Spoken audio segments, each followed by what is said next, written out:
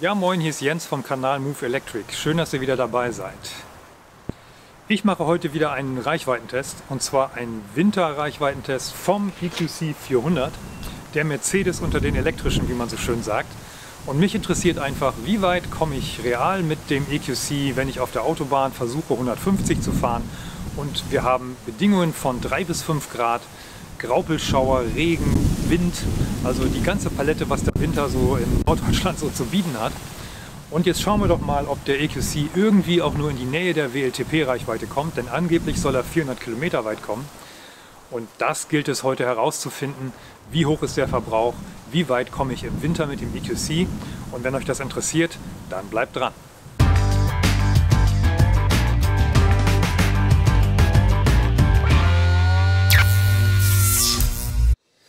Ja, jetzt sitze ich also im Mercedes EQC und fühle mich doch irgendwie gleich zu Hause, denn ich bin vor dem Tesla 18 Jahre lang Mercedes gefahren. Das wisst ihr vielleicht, wenn ihr meine Videos schon länger verfolgt. Im Jahr 2018, als ich mir den Tesla gekauft habe, weil ich auf Elektro umstellen wollte, habe ich bei Mercedes angefragt, was für Elektroautos habt ihr denn so im Angebot? Und die Antwort war keine. Somit bin ich eben beim Tesla gelandet und nicht bei Mercedes. Jetzt hingegen haben sie den EQC und wer weiß, wenn sie den damals schon gehabt hätten, wäre ich vielleicht heute EQC-Fahrer. Jedenfalls möchte ich jetzt wissen, wie weit kommt der EQC im Winter und wie ist der Verbrauch bei den Temperaturen, die wir heute haben und bei dem bescheidenen Wetter. Denn ein Elektroauto mag ja so hochwertig und Premium sein, wie es will, wenn das mit der Effizienz nicht stimmt und wenn der Verbrauch so hoch ist. Das trübt doch ganz schön die Freude, zumindest meine. Deswegen mache ich also jetzt den Reichweitentest, aber bevor es losgeht, zeige ich euch noch ganz kurz ein bisschen was vom Interieur und vom Rest des Autos.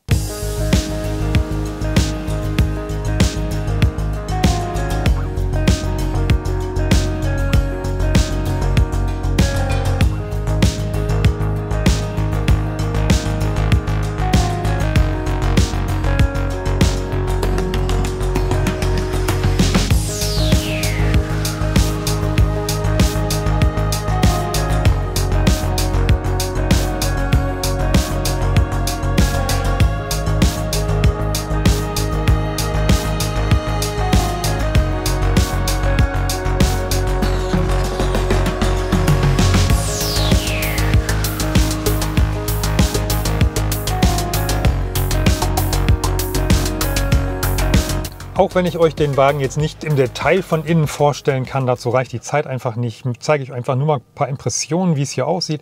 Also wir haben hier das MBUX Display, das ist ein Touchscreen, hier kann ich hin und her switchen, hier kann ich die Dinge einstellen. Ich habe hier in der Mittelkonsole, die mit Hochglanzlack versehen ist, so eine Art Touchpad, wo ich dann auch die, äh, das Display hier bedienen kann. Also ich kann rauf und runter scrollen, ich kann anklicken. Ähm, das Ganze ist so ein bisschen mit so einem haptischen Feedback auch. Ich bin damit selber nicht so gut klargekommen jetzt auf den ersten zwei Stunden, aber das ist sicherlich Gewöhnungssache. Ansonsten Lenkrad finde ich ein bisschen überfrachtet mit Tasten, das ist aber auch Geschmackssache. Ähm, gewöhnt man sich auch sehr schnell dran. Materialien sehr hochwertig, alles ist weich hinterlegt, weich unterschäumt. Da ist irgendwie nichts billig, alles wirkt ziemlich, ziemlich gediegen und Mercedes-typisch einfach Premium. Hier ist so eine Art ja, Hochglanz, äh, das ist allerdings Kunststoff, Ablagefläche, Staubfänger, sage ich mal dazu. Diese Kupferdüsen, das ist auch Geschmackssache, ob es unbedingt Kupfer sein muss, hätte auch Chrom sein können. Hier alles wunderbar anzufassen, sehr schöne Materialien. Das weiß zu gefallen, würde ich mal sagen. Hey Mercedes. Ja, bitte. Navigation abbrechen. Die Zielführung wird abgebrochen. Ich weiß ja, wo ich lang will. Und zwar fahre ich jetzt wieder meine Reichweitenstrecke. Ich fahre wieder auf die A27 Richtung Cuxhaven, Bremerhaven. Diesmal werde ich wahrscheinlich bis Cuxhaven durchfahren, um die Strecke ein wenig zu verlängern. Und dann äh, wende ich wieder und fahre wieder zurück nach Bremen. Und dann versuche ich zumindest, wenn es zeitlich noch klappt, einen Ladetest an einem HPC-Lader zu machen mit CCS, um mal zu gucken, ob die versprochenen 100 kW bzw. 110 kW Maximum von dem EQC auch wirklich in der Praxis erreicht werden. Wir haben jetzt 247 Kilometer Reichweite. Der Akku ist nicht ganz voll. Leider sehe ich hier keine Prozentanzeige. Ähm, von den Linien her würde ich mal schätzen, dass wir noch so 80 Prozent rund im Akku haben. Der Akku hat hier eine Nettokapazität von 80 Kilowattstunden. Und äh, die sollten ja eigentlich locker ausreichen. Der Verbrauch vom EQC ist ja NEFZ und WLTP unterschiedlich angegeben, beziehungsweise die Reichweite. Die Reichweite NEFZ soll ja 450 Kilometer betragen und laut WLTP bis zu 400. Ich denke mal, so mit langsamer Fahrweise mag das vielleicht gerade so im Sommer funktionieren, aber jetzt haben wir Winter, es ist 5 Grad draußen, es ist nasse Fahrbahn und ab und zu gibt es Schauer. Also die idealen Worst-Case-Bedingungen, um mal im Winter die Reichweite zu testen. Und wie immer fahre ich ein Stück durch die Stadt mit der Tempo 30 Zone hier und dann begebe ich mich auf die A27 und werde dort versuchen, um die 130 bis 150 Kilometer pro Stunde zu fahren, wenn die Verkehrssituation es erlaubt. Das ist natürlich nicht die Durchschnittsgeschwindigkeit, aber ich versuche dieses Tempo zumindest da, wo es geht, zu erreichen. Um die Reichweite auch wirklich mal auszureizen, habe ich tatsächlich mich mal entschlossen, hier auf den Eco-Mode zu stellen. Also nicht Komfort oder Dynamics, sondern Eco. Und die Heizung ist auf 22 Grad eingestellt. Wie gesagt, 5 Grad draußen, ziemlich kühl. Frieren möchte ich jetzt auch nicht. Gleich geht es dann auf die Autobahn und dann wird es richtig spannend. Ach so, ja, es könnte natürlich wieder sein, dass meine Sitzposition wieder einigen irgendwie übel aufstößt. Also ich sitze hier völlig entspannt. Ich kann mich wunderbar zurücklehnen an die Rückenlehne und wenn ich meine Arme ausstrecke, dann berühren die Handballen das Lenkrad. Also ich sitze hier völlig entspannt. Falls es durch dieses Objektiv so aussieht, als wäre das nicht der Fall, es ist eine optische Täuschung. Werdet ja gar nicht glauben, wie viele Kommentare ich bekomme, die meine Sitzposition kritisieren. Aber ich glaube, das ist einfach nur durch dieses komische Objektiv hier von dieser Kamera.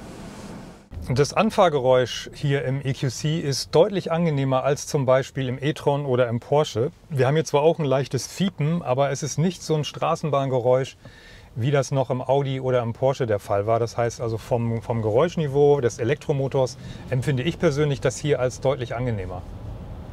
Man hört ihn wirklich kaum. Bei niedrigen Geschwindigkeiten zumindest.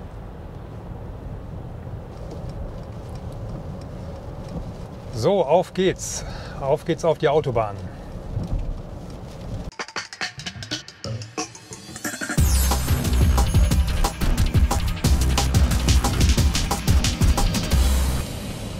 Schon haben wir einen Stau. Das ist ja extrem ungünstig. Das hätte ich aber vorher mich erkundigen müssen. Shit. Shit, shit, shit. Wie weit ist der denn?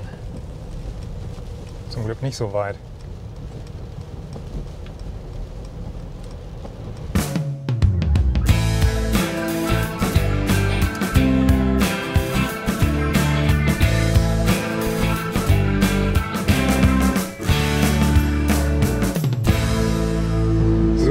Baustelle ist zum Glück nicht so lang gewesen. Das war irgendwie nur 500 Meter oder 800 Meter und es war wegen Baumfellarbeiten. Bin ich jetzt durch. Das heißt, jetzt kann es langsam wirklich losgehen.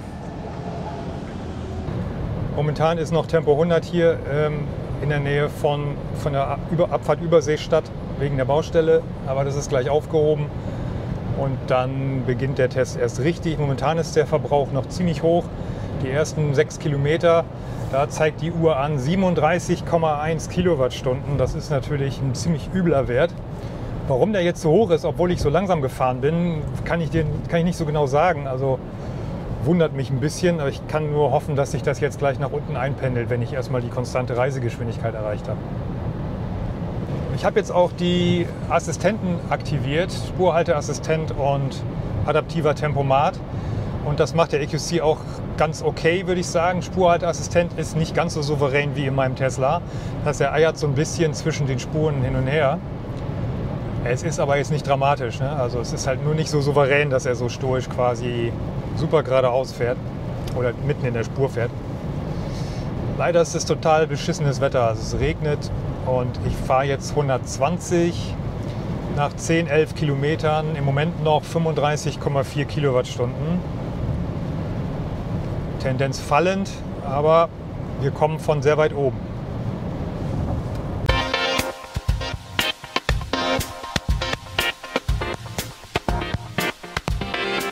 Also Geräuschniveau bei 120 ist super, man hört wirklich fast nichts, ein bisschen Windgeräusche. Auch die Reifengeräusche sind sehr, sehr, sehr gering, also sehr gut gedämmt hier wieder mal, also wunderbar, sehr entspanntes Fahren dadurch möglich. Und man wird hier wenig durch irgendwelche Nebengeräusche belästigt. Das macht einfach Spaß. Deswegen fahre ich unter anderem auch Elektroauto, weil es einfach so schön ruhig ist. So, jetzt ist freigegeben. Dann wollen wir mal auf 150 gehen.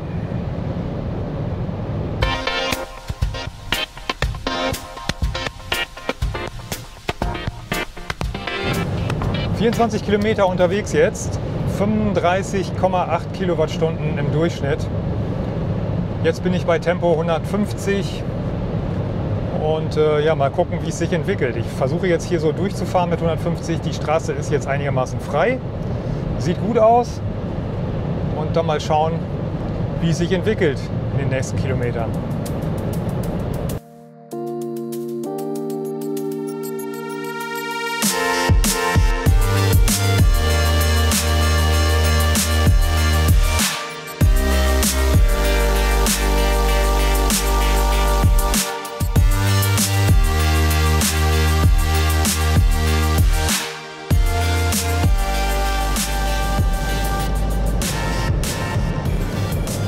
So den Eindruck, dass 150 nicht unbedingt die beste Geschwindigkeit für den EQC ist, weil der Verbrauch äh, ist jetzt bei 36,2 Kilowattstunden auf 100 Kilometer und 35 Kilometer gefahren. Das heißt, er sinkt jetzt nicht, er wird sogar noch mehr. Das ist ähm, ja nicht so gut für meine Strecke. Eigentlich wollte ich ja mindestens 200 Kilometer fahren. Es könnte dann, naja, ein bisschen knapper werden, als ich eigentlich erhofft hatte. Aber im Winter 150 mit dem EQC hm, scheint keine gute Idee zu sein.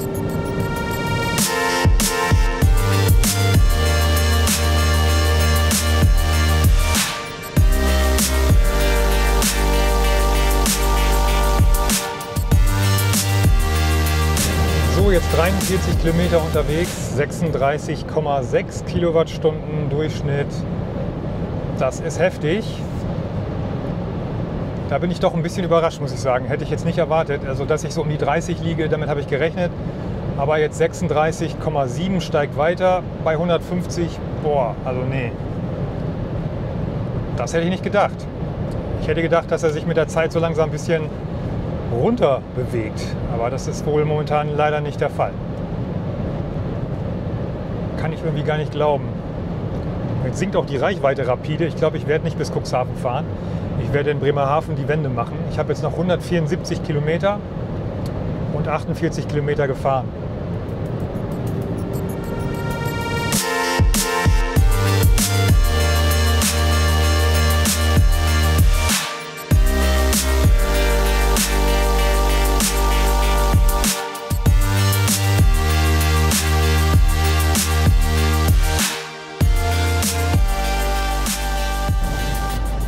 Bremerhaven Zentrum 1000 Meter, das heißt, hier fahre ich wieder ab und drehe dann da an meiner gewohnten Stelle. Zwischenstand 60 Kilometer gefahren, 34,6 Kilowattstunden Durchschnittsverbrauch.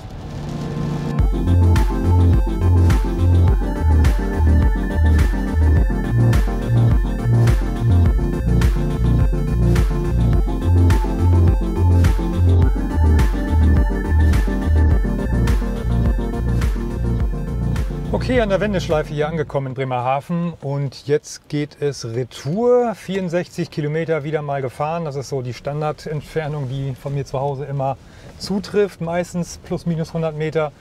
Und jetzt der Durchschnittsverbrauch, äh, dadurch, dass ich jetzt ein bisschen langsam fahren musste, die letzten ein, zwei Kilometer, liegt bei 33,7 Kilowattstunden. Das wird sich aber wahrscheinlich wieder ändern, weil ich gehe jetzt wieder auf die Autobahn und da heißt es wieder 150 km/h.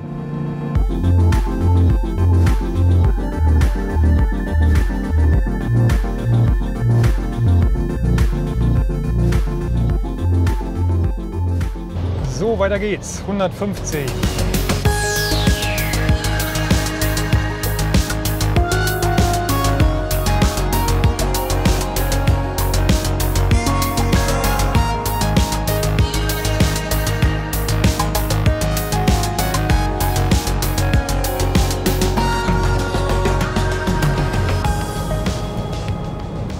So, hier haben wir wieder Tempolimit. Ich muss jetzt runtergehen auf 120, weil hier leider ein Tempolimit ist. Wir sind wieder in Bremen Nord.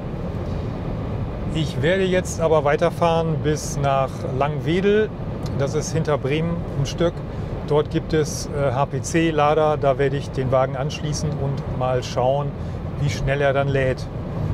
Wir haben jetzt noch 104 Kilometer Restreichweite und ich denke, schätze ich mal, bis dahin wird es runtergehen auf 60 oder 70 Kilometer, 70 vielleicht.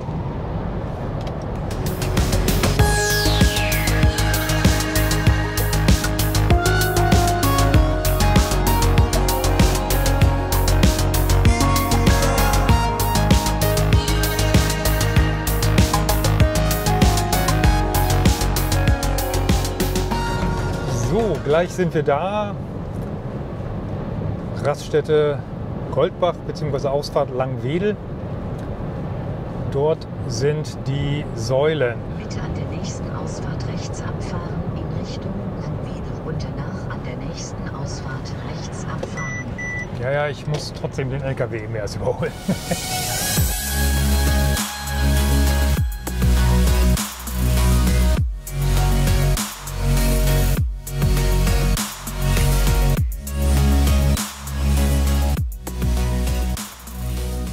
Also wie ich gesagt habe, die Restreichweite beträgt jetzt noch 72 Kilometer und wir sind insgesamt 150 Kilometer gefahren. Momentaner Durchschnittsverbrauch war 32,6, äh, 85 Kilometer pro Stunde Durchschnittsgeschwindigkeit, weil wir die letzten 20 Kilometer doch sehr langsam fahren mussten. Auch wegen der Baustelle hat es sich dann halt noch reduziert. Und jetzt werde ich mal versuchen, ein bisschen aufzuladen und mal sehen, ob ich den EQC hier Plug and Play an den Start bekomme oder ob ich eine Ladekarte brauche.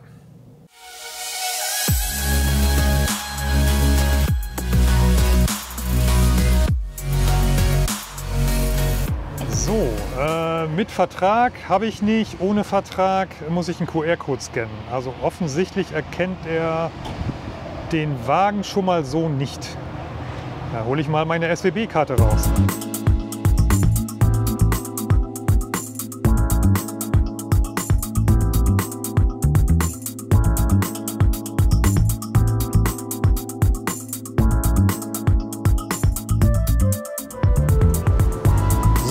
Ende. Jetzt müsste ich nur den Stecker rauskriegen. Ah ja, so.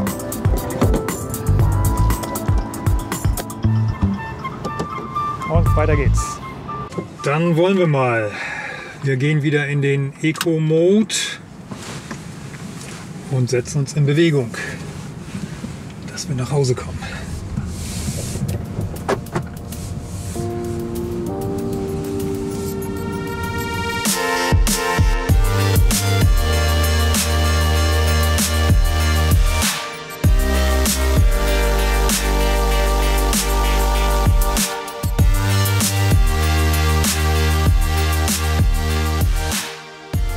Wieder zu Hause und wie ist denn jetzt das Fazit dieser Reichweitenfahrt? Also, ich habe versucht 150 km/h zu fahren, wo immer es ging.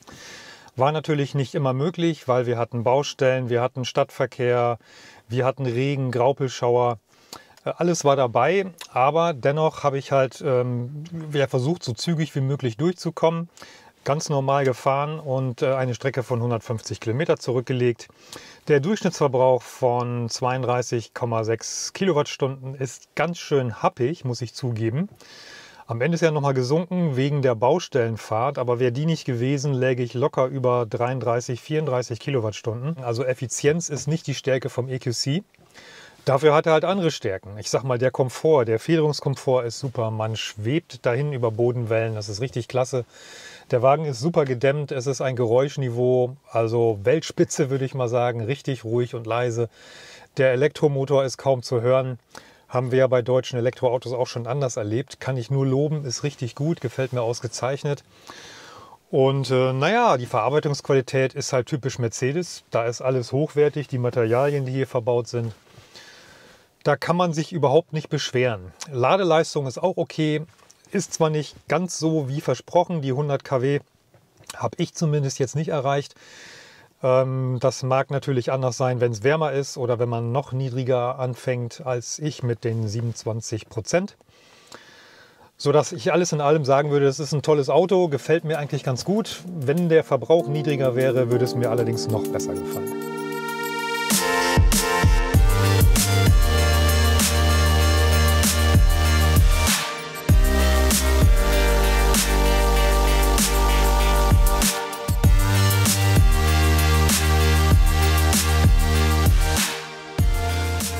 Ich bin am Ende mit meinem Video und ich hoffe, es hat euch gefallen. Wenn ja, gebt mir einen Daumen nach oben und abonniert meinen Kanal. Bis zum nächsten Mal. Macht's gut. Ciao.